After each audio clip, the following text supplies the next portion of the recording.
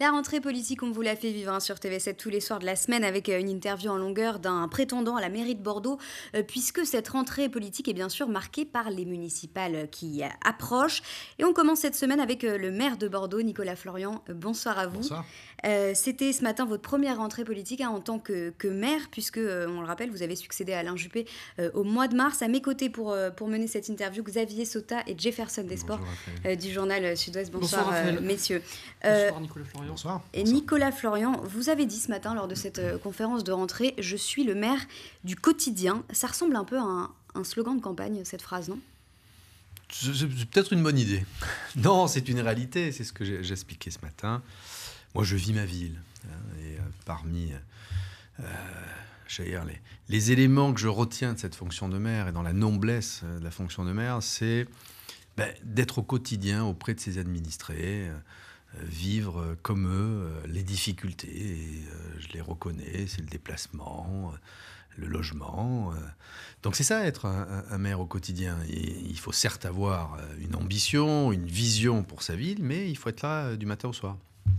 Nicolas Florian, ce matin, il y a plusieurs mots qui sont revenus dans votre bouche. Co-construction, un développement équilibré, une ville accueillante. Et pourtant, vous avez fixé un seuil, 300 000 habitants. Est-ce qu'il n'y a pas un paradoxe un peu dans... Bah, il, y a, un petit peu de marge. Aujourd'hui, on est 250 000 habitants. Je rappellerai que Bordeaux a, compté jusqu'à 320 000 habitants. Moi, ce que je recherche, c'est l'équilibre.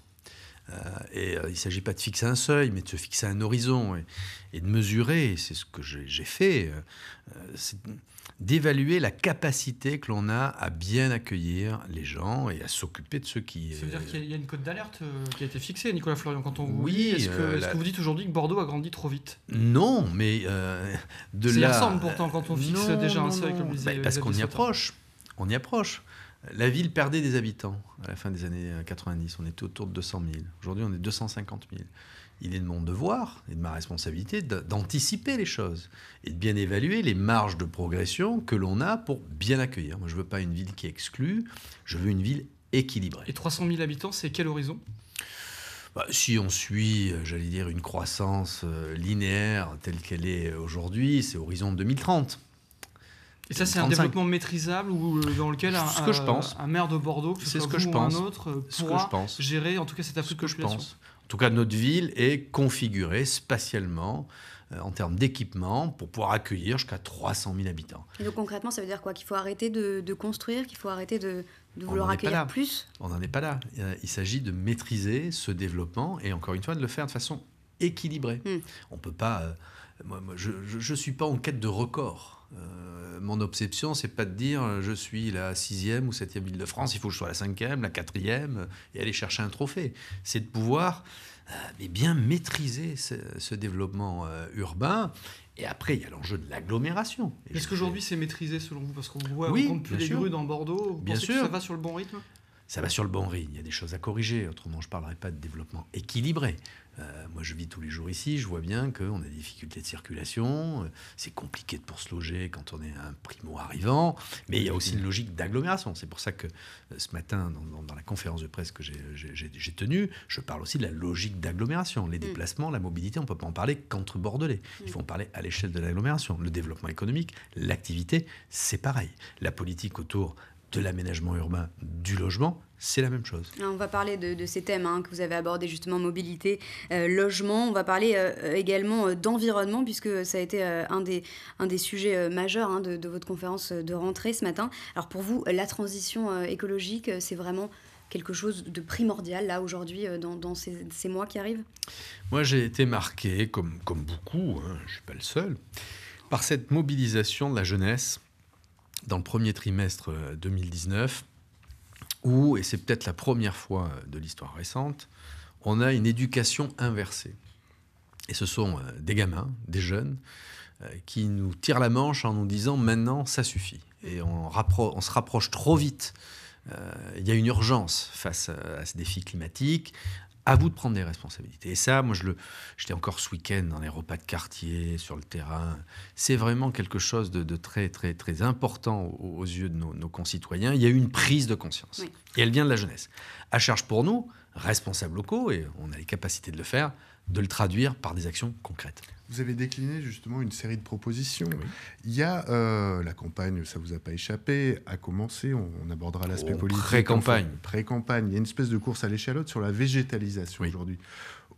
La ville de Bordeaux s'est dotée d'un plan canopé. Expliquez-nous, Nicolas Florent, est-ce qu'on peut planter des arbres comme, comme on le dit, comme on le promet aujourd'hui, sachant que quand on plante un arbre, il y a des racines, il y a des réseaux en dessous. Je pense à la place Péberlan. Comment on fait? Comment vous faites pour transformer ces îlots de chaleur en îlots de fraîcheur? Il y a ce qui relève de l'intention et de l'affichage. Facile de dire je vais doubler, tripler, quadrupler. Et puis après, il y a la réalité des choses. C'est pour ça qu'en installant ce club de l'arbre, ce comité de l'arbre, on va pouvoir aussi identifier les lieux qui sont susceptibles d'enraciner les arbres. Et vous prenez l'exemple de la, place Péberlan. J'ai fait cette ombrière qui préfigure ce que pourrait être l'aménagement de la place, mais on demande maintenant à des spécialistes, et ils travaillent dessus, sur la capacité que le lieu a à recevoir un enracinement. Moi, le message que j'ai fait passer ce matin, c'est que la végétalisation, c'est essentiel, mais ce n'est pas le seul vecteur qui nous permette de combattre ce euh, défi climatique et ce changement climatique. Ce sont des nouvelles pratiques dans la vie du quotidien. Vous pensez à quoi? Bah, Sur les déplacements la part de la voiture doit baisser, les déplacements doux doivent euh, augmenter, et à charge pour nous d'ailleurs d'organiser spatialement la ville pour qu'on puisse mieux se déplacer à pied, en trottinette, à vélo. La voiture doit baisser, elle a déjà baissé, mais on va jusqu'où? Vous dites quoi au Bordelais? Vous leur bah, dites en disant, on va sortir de la voiture, elle n'a plus sa place dans le centre-ville, dans un périmètre. Oh, moi, je ne suis pas aussi, euh, j'allais dire, ça votre maximaliste. Non, non. Encore une fois, je suis dans l'équilibre je suis dans l'équilibre. On peut, on peut jouer les équilibres sur une question comme celle-ci Est-ce qu'il faudrait pas justement des mesures contraignantes pour ces questions qui sont... Moi, je préfère valoriser plutôt que punir. Et euh, j'ai des chiffres qui, qui, qui, nous prouvent d'ailleurs qu'on est, on est prêt à ça. La, part d'utilisation de la voiture en centre-ville, hein, je ne parle pas sur l'agglomération, est passée il y a 10 ans d'à peu près 60% à moins de 50% aujourd'hui. Donc c'est tendanciel. À charge pour nous de s'adapter à ces nouvelles pratiques, euh, et par exemple de permettre aux uns et aux autres de pouvoir utiliser le vélo de façon euh, sécure. C'est pour ça qu'on fait, cours du maréchal Juin, rue Jean d'Andicole, des, euh, des, des, des, voies réservées au vélo pour que ça soit en sécurité. Et l'idée est de faire un maillage complet pour que les gens puissent utiliser d'autres moyens de locomotion que, que la voiture. Mais il ne s'agit pas de bannir la voiture en centre-ville sous votre mandat, Nicolas Florian, la voiture a sa place en ville aujourd'hui. sûr. Il y a des propositions aujourd'hui qui disent on va chasser les voitures d'ici 10 ans. encore une fois, à l'intérieur des boulevards. Je ne veux pas être dans, le, dans la surenchère, toujours plus ou toujours moins. D'une part, il y a des gens euh, dont c'est essentiel d'avoir une voiture. Je pense aux commerçants, euh, aux travailleurs euh, itinérants, et puis socialement tout le monde ne vit pas et travaille à Bordeaux. On a à peu prais 62% des Bordelaises et des Bordelais qui habitent et travaillent à Bordeaux. Mais il y a tout le reste, ceux qui sont dans un mouvement pendulaire, et on ne peut pas accéder, ça serait complètement utopique de considérer qu'un jour on puisse accéder à son lieu de travail depuis son domicile par des moyens euh, collectifs ou communs. Donc la part de la voiture, elle est importante. Le tout, c'est de pouvoir encore une fois équilibrer les choses et réduire l'impact de la voiture en centre-ville. On y a d'ailleurs euh, travaillé depuis quelques années quand on fait le, résident, euh, stationnement résident. C'est une forme de régulation urbaine pour que les gens utilisent plus le transport en commun que leur voiture personnelle. Quand je propose et que je vais faire euh, du stationnement privilégié, gratuit, pour le covoiturage, c'est qu'on fait aussi le pari que les gens s'organisent et prennent de nouvelles pratiques. Nicolas Florian, sur le plan politique, en tout cas, on sait que le, vote écologiste va monter en puissance. On l'a vu pour les européennes avec le score euh, des Verts. On sait aussi que, euh, selon les projections, ce vote-là sera très important municipal. Est-ce qu'on entend, là, quand vous mettez autant l'accent sur l'écologie, c'est aussi votre conversion, c'est la conversion euh, du maire, Nicolas Florian? Vous venez des Républicains, on en reparlera, etc. C'était naturel. Mais c'est une conversion forcée, c'est du pragmatisme vous bah, quoi bah, Déjà, la, fonction euh, impose euh, aussi des, prises, des prises en considération. Et, par ailleurs, je pense que je suis, j'allais dire, l'incarnation de, de, 80% de la, société qui jusqu'à maintenant considérait que certes c'était important, mais qu'on avait un peu de temps, que c'était pas si grave que ça. Il y avait un débat sur le réchauffement climatique, c'est oui, c'est non. Certains experts disent bon, c'est pas très grave. Bon, là il y a une vraie prise de conscience collective. Et à charge, moi en tant qu'être humain, euh, de le mettre en œuvre, mais surtout en tant que responsable public de tout faire pour aller dans une forme de résistance. Il ne s'agit pas de dire que on va inverser la tendance. Il faut résister et adopter de nouvelles pratiques face à ce défi climatique. Alors justement, dans les nouvelles pratiques, il y a une proposition euh, qui risque de faire peur. Vous avez parlé d'éoliennes urbaines. Expliquez-nous ce que c'est que ces éoliennes. Est-ce qu'on va voir des mâts de 5 mètres de haut euh, se loger dans une ville basse Alors déjà, la hauteur je- fait peur. Je suis partisan de l'expérimentation. Et quand on est maire d'une ville comme Bordeaux de 250 000 habitants, on a les, les moyens techniques, humains, administratifs pour faire des expérimentations.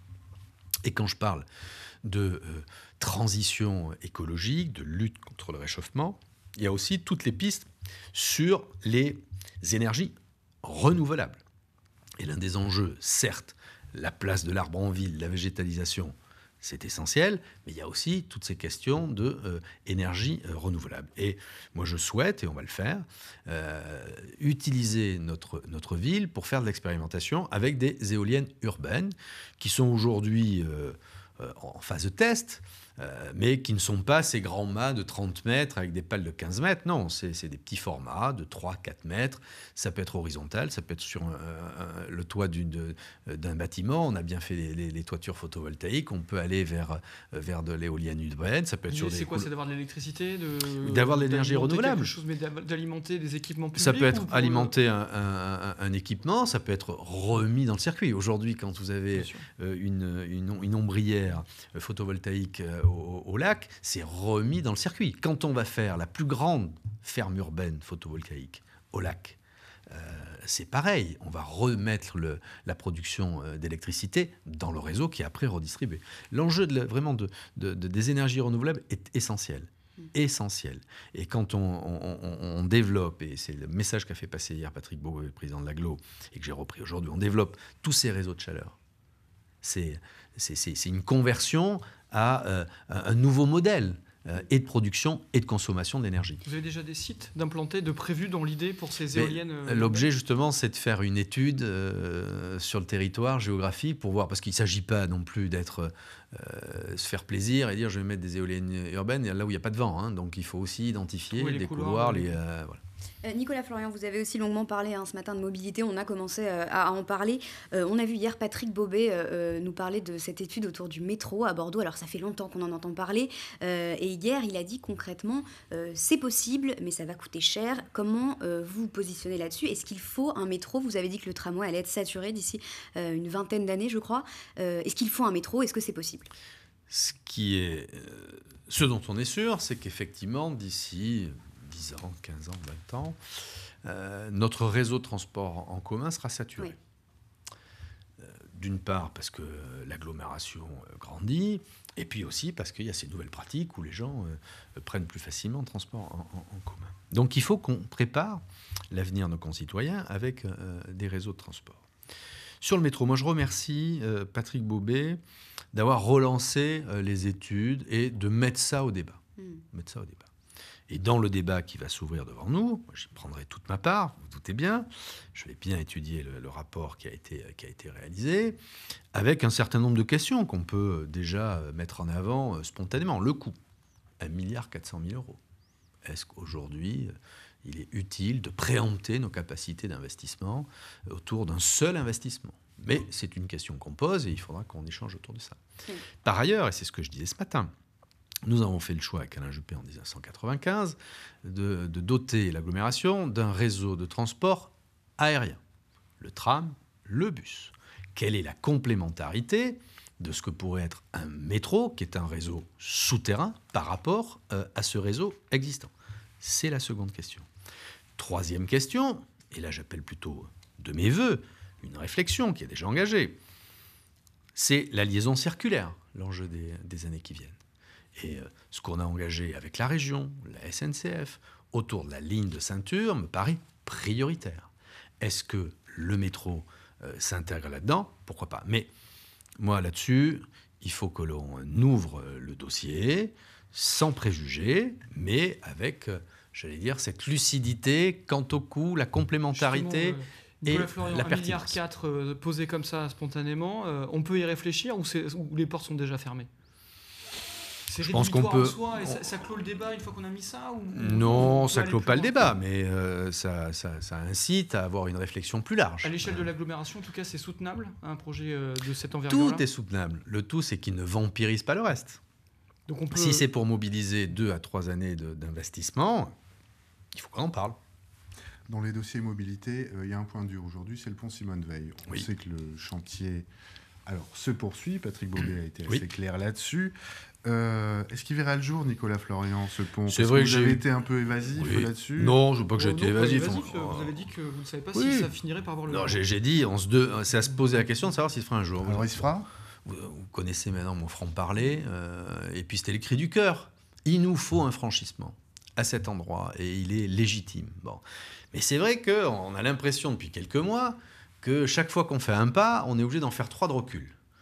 Un coup, c'est les difficultés euh, avec le, concessionnaire, enfin celui qui va réaliser les travaux. Maintenant, c'est euh, ce coup d'arrêt, euh,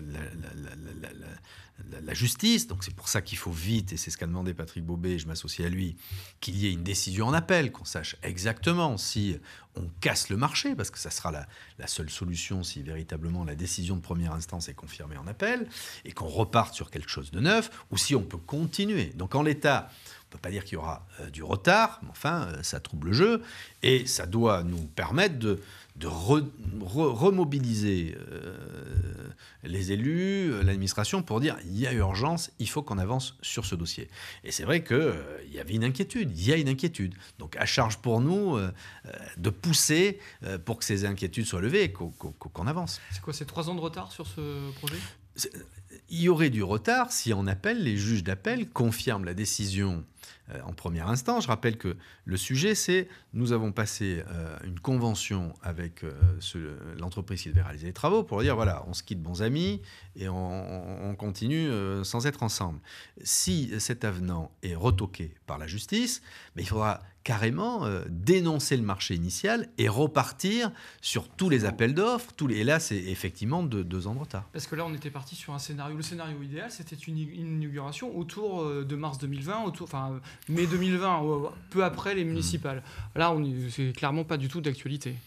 Je ne sais pas, on, on a d'ores et déjà perdu quelques mois, et c'est ce que disait euh, Patrick Bobet hier, mais si nous pouvons obtenir une décision de justice qui nous serait favorable avant la fin de l'année, ça n'obère pas euh, les capacités que nous aurions à entamer le châtier et à attribuer les marchés en début d'année. Voilà, le, le pont Simone Veil, hein, on, on le sait, ça permettrait de désengorger un peu la circulation. hein, euh, Et puis relier les deux rives. Bordeaux, voilà, Relier le les deux rives. des deux rives.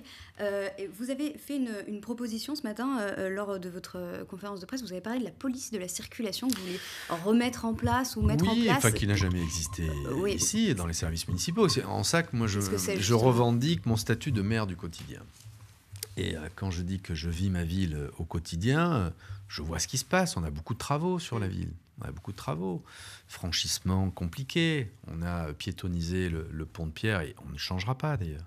Bon. Et donc je, je- je remarque que à certaines heures de la journée ou dans certaines situations, on a des points de congestion et que le système de régulation par feu qui existe euh, ben, a atteint ses limites et qu'un peu à l'ancienne, comme dans certaines grandes villes d'Europe, bah, il faut euh, gérer la, la- la- la- la matière humaine, euh, un policier de la circulation qui euh, se substitue au feu rouge, au feu vert et qui assure de la fluidité. Ça marche bien dans d'autres villes d'Europe, il n'y a pas de raison qu'on n'y arrive pas ici. Et c'est pour ça que je vais mettre en place cette police de la circulation. Police de circulation, autre dossier, les boulevards. Alors les boulevards, c'est alors c'est pas le grand contournement, mais c'est quand même un serpent de mer aujourd'hui un peu à Bordeaux. Qu'est-ce qu'on Non, fait c'est sur pas ces un, boulevards? c'est un serpent de mer, c'est que on, a tous en tête qu'il faut faire quelque chose sur les boulevards et à chaque élection. Bon, là, je pense que il faut maintenant aller plus loin et c'est ce que j'ai proposé. Euh, ça a suscité l'adhésion du maire de Bègue, du maire de Talence, du maire de l'agglomér- euh, du Bouscat, qui est par ailleurs président de l'agglo, euh, Patrick Boubet, pour qu'on s'approprie ce dossier et qu'on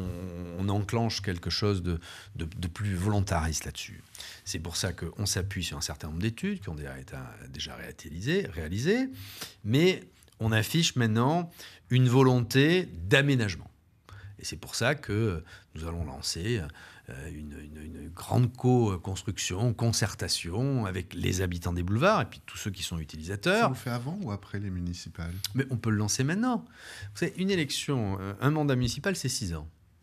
Si après l'élection, vous passez trop de temps à vous féliciter de votre élection, vous perdez euh, déjà quelques mois.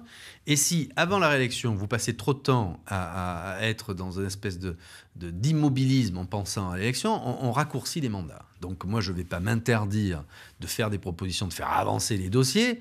Euh, on n'est qu'au mois de septembre, l'élection est le mois de mars. On ne va pas fermer la ville et fermer la mairie pendant ce temps-là. Il faut avancer. Et puis c'est bon pour l'ensemble de la, collectivité. Donc euh, moi, je souhaite vraiment que les gens s'approprient ce dossier. Il ne faut pas que la, réflexion sur les boulevards se résume à un lieu routier. Oui, c'est ça concrètement. Qu'est-ce qu'on peut imaginer d'autre Quel aménagement on peut imaginer mais déjà, les boulevards Il y a de façade à façade, mais tout ce qui se passe derrière les façades. Et c'est pour ça que moi j'ai souhaité qu'on intègre dans, le, dans la zone de réflexion une bande de 300-400 mètres intra, extra boulevard. Je vais vous prendre l'exemple, moi je connais le mieux, euh, j'habite Barrière d'Ornano. On ne peut pas réfléchir sur l'avenir des boulevards sans parler de la barrière et ce qui se passe entre l'hôpital et Mériadec et Gavinès. Donc il y a une bande, il y a 80 000 personnes qui habitent autour des boulevards, mais il y a un lieu de vie tout autour. Donc c'est les, les, barrières. Est-ce qu'il faut d'ailleurs regarder le terme de barrière? Parce que barrière, c'est l'image d'une frontière. Moi, je veux plus que ça soit une frontière, les, les boulevards. Je veux pas que ça soit qu'un lieu de flux de mobilité, je veux que ça soit un lieu de vie.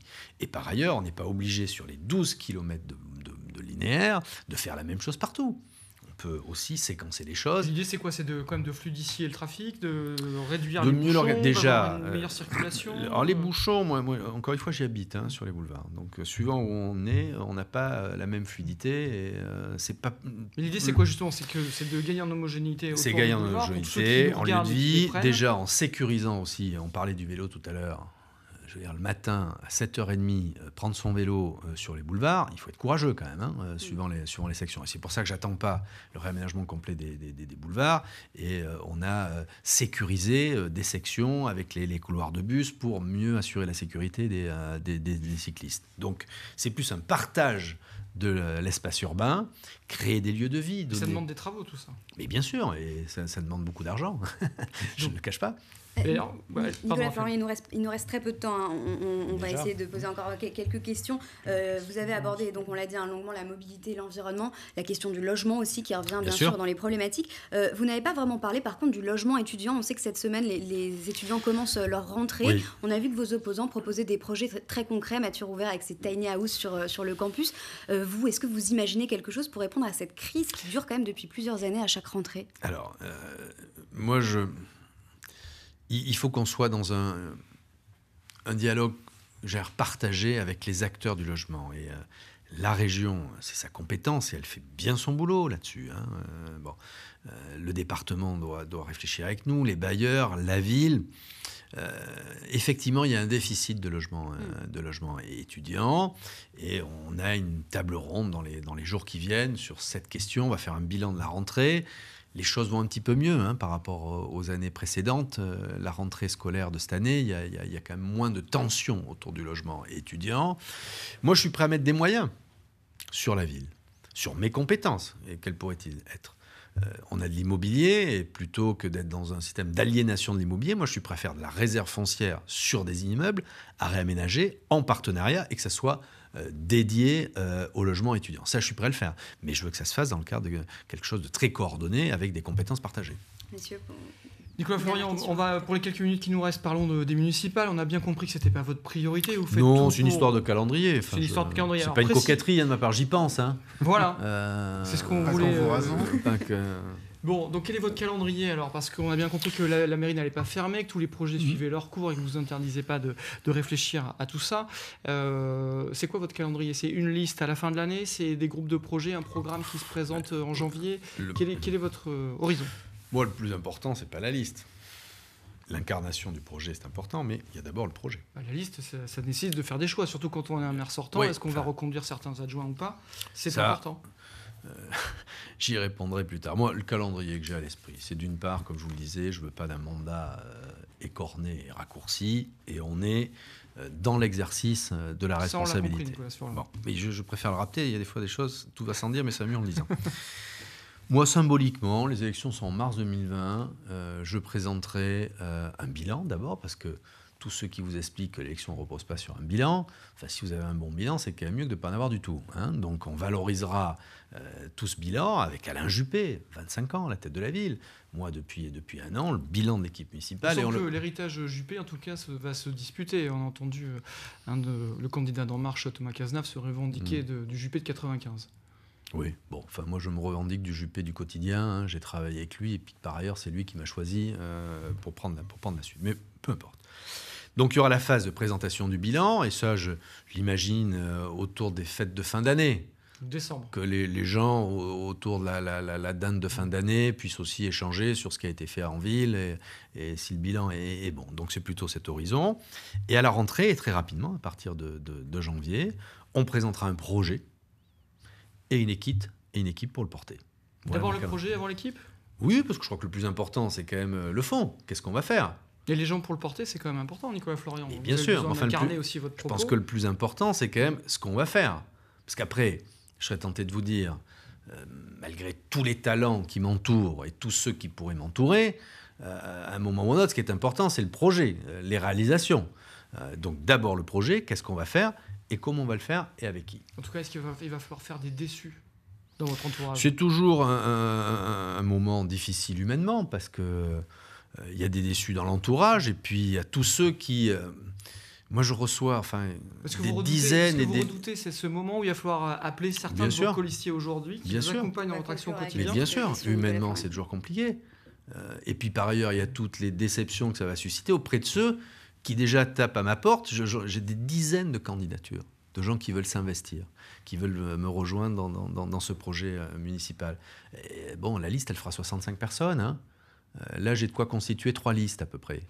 Est-ce que la porte est euh, toujours ouverte à En Marche? Vous le disiez Moi, la porte est ouverte à toutes celles et tous ceux qui sont dans une logique qui est la mienne de rassemblement, pour la ville, pour les Bordelaises et Bordelais. Moi, je ne suis pas dans une logique d'appareil politique. Je me suis éloigné de tout ça. J'ai pratiqué l'exercice. Hein.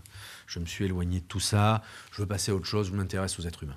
Voilà, une logique de rassemblement pour euh, Nicolas Florian, euh, maire de Bordeaux. Merci beaucoup à vous d'être venu sur euh, notre plateau avec Sud-Ouest et TV7. Donc, et ça continue toute cette semaine et même la semaine prochaine. Hein, on continue notre rentrée politique. Demain, ça sera Pierre Urmic qui sera notre invité, le chef de file des écologistes à Bordeaux. Et vous restez avec nous sur TV7. L'info revient dans un instant.